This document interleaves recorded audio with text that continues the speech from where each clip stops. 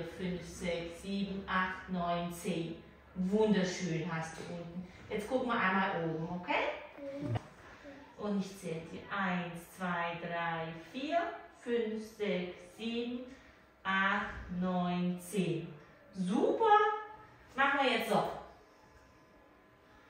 Sehr schön. Ja, das sind sicher kleine Defekte. Ja.